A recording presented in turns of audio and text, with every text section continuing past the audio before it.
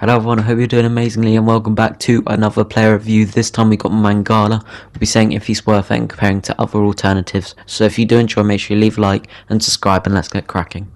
So first of all, if we have a quick look at his base stats, he's he's got the weak foot upgrade, not the skill move. I mean, it means he'll be very reliable at the back with passing and stuff like that, but maybe skill moves would have been a bit funner and better, but 5 star weak foot is still nice. Uh, he's got 80 pace, which is nice. 78 passing, 76 dribbling, which again is like 86 defending and 90 physical, which is nice as well. And guys and tackles, I, I don't really know if those traits are good. But overall, the base stats looks good. But now let's take a look at his in-games. And here they are. He's got acceleration's a bit low, but the sprint speed is nice with a shadow. You can boost that up to 85 sprint speed, 94 defending, quick mass.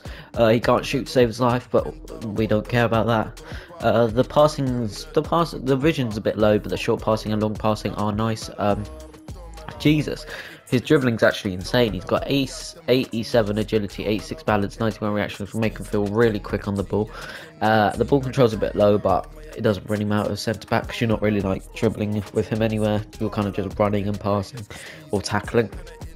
And but talking about his defending, uh, he's got very nice. He's got 88 standing tackle um, and 86 defensive awareness, and the physical's obviously insane. He can last a full game. He can jump, and he's obviously got insane strength and aggression. Looking at the looking at the card, it's actually a very nice card with the weak foot, and he's got the nice dribbling as well. But we're going to take a look at alternatives, and I feel like there's going to be a few better options. Uh, so here we can see the alternatives. I mean, I've got both of them in my team. We got Koundé. You could argue he's better than Koundé, but yet again, Koundé was free and definitely better value for coins because he was free. Um, and Varane, I've got his red, but his gold card. I mean, for the price, Varane's just better in my opinion. And you've also got um, you've also got there's like a what if Euro Chiche, who's a beast at centre back from a left back um, who is probably better. Here he is over here.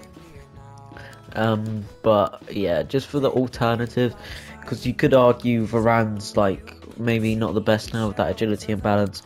If you didn't complete Koundé, I mean, the only reason I would do him if you need a French La Liga centre back and you did complete Koundé, uh, then you can link him up to Varane. But apart from that, if there's any other reason, I would just not do it. I feel like it's a waste of coins. And as you know, there's going to be loads more SBCs coming out over the next few days. So I would personally stay away, but that's my opinion. But if you do need a sense bet partner with Varane, he's a very nice card with a 5-star weak foot. But yeah, that's going to be the end of this video. If you do enjoy, make sure you leave a like and subscribe for more FIFA 21 content. I hope you have a great rest of your day, and I'll see you all soon.